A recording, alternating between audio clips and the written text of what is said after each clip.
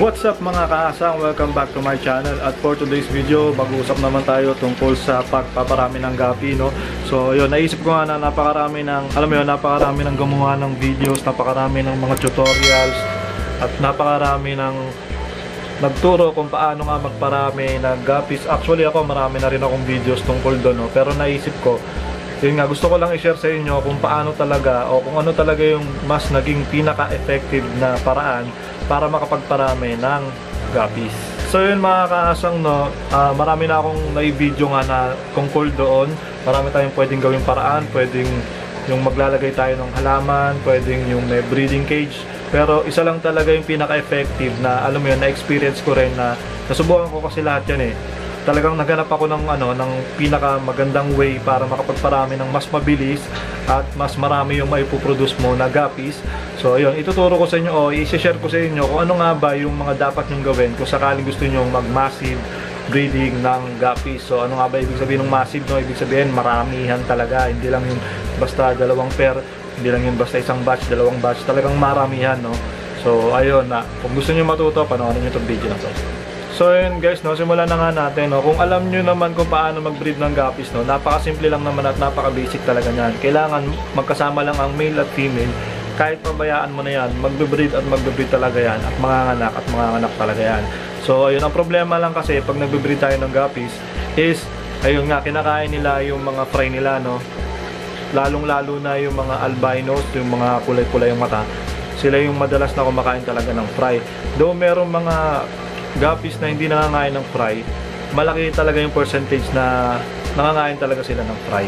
So, ayun na nga ang iniiwasan natin guys, no? Para makapagparami tayo ng guppies, kailangan maiwasan natin na kainin nila yung fry nila.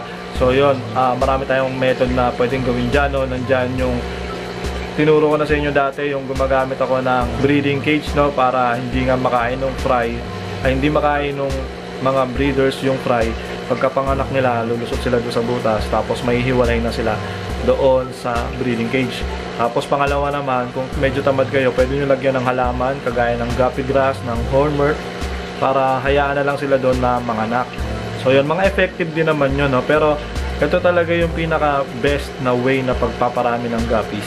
So ano nga ba yung pinaka best na way, no? Ito yung ginagawa ko ngayon guys, no? Kung mapapansin nyo, napakarami kong tanks dyan na maliliit lang yung space Bali ito kasi ano yan eh. Isang buo yan pero hinati yan sa lima. Ayan, hinati sa lima. Tapos yung mga 10 gallons ko, hinati ko sa dalawa. Ngayon, ba't, ba't ano no, ba't ganun yung ginawa kong ano, bakit ganun yung ginawa kong setup para sa akin mga guppies. Ito, pakita ko sa inyo na malapitan guys, no. Napakarami ko talagang guppies ngayon. Kagaya niya, may isang batch ako dito. May isang batch ako dito ng fry. Kaya maliliit. May isang batch ako dito ng fry iba-ibang strain niya na.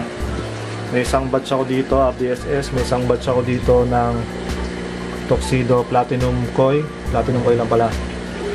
Tapos yun, may isang batch ako dito ng HB White. May isang batch ako dito ng Albino Red Lace. Pakita ko na sa inyo gaano karami talaga. May isang batch ako dito ng ano nga ba to? Kalimutan ko na. Dambuir Mosaic. Yun, meron din akong isang batch dito na pinaghiwalay na na red lace. Yan.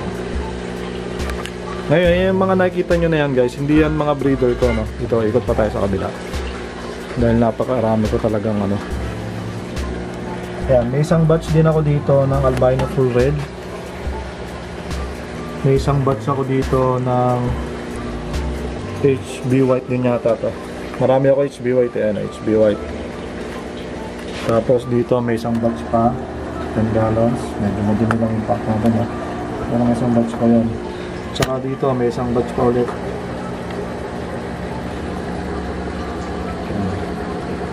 Napakarami. So yun mga kasang no, bakit papaano ko nagawang magparami ng ganon ng ilang buwan lang. Siguro nagsimula ako nito 20 basta 2021 na yun, eh. nagsimula ako na naisip ko magparami ng guppies kasi nga hindi ako makabreed ng flower siguro mga February, February yun. Naisip ko nga na magparami muna ng guppies habang hindi ako nakakapagparami pa ng flower kaya ginamit ko itong mga tops na to.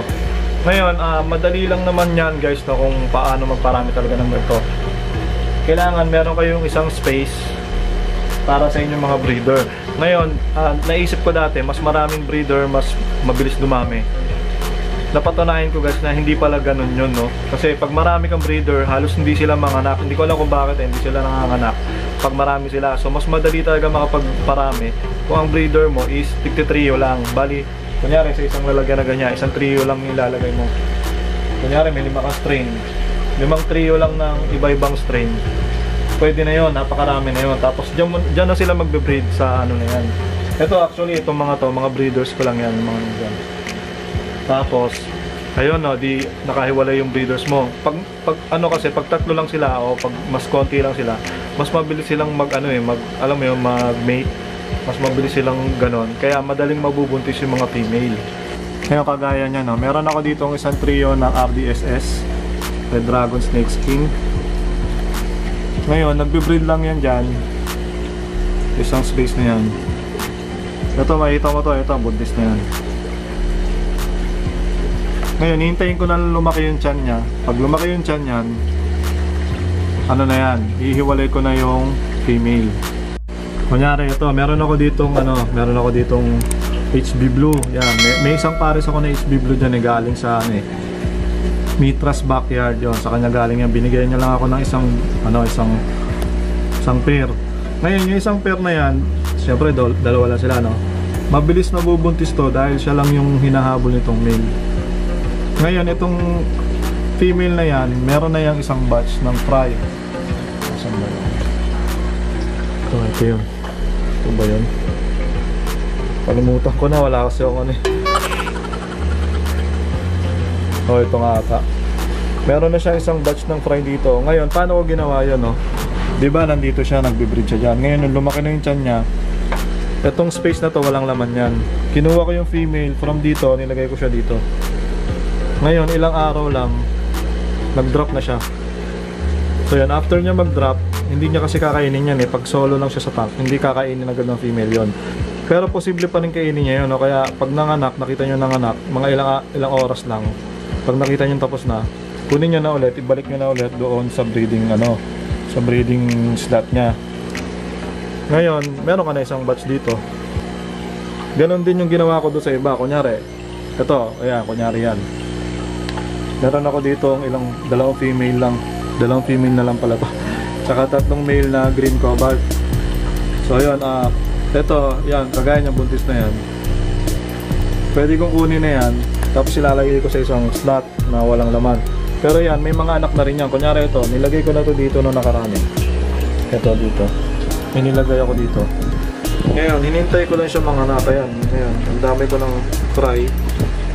Nakita niya. Tapos, after niya mga anak, binalik ko na lang siya ulit dito. Nakukuha niyo yung logic guys, no? Ah, ang logic lang talaga niyan, kailangan bago manganak yung female, may paglilipatan ka ng space na walang laman. Doon siya manganganak. Ngayon, minsan ang bilis lang yan, minsan oras lang, minsan isang araw lang. Makita niyo may mga fry na yon. Ngayon, pag may mga fry na yon, doon niya na palalakihin yun hanggang sa maging grow out na yon. Tapos yung ano, yung yung breeder na yon, kailangan ibalik niyo na doon sa breeding slot niya.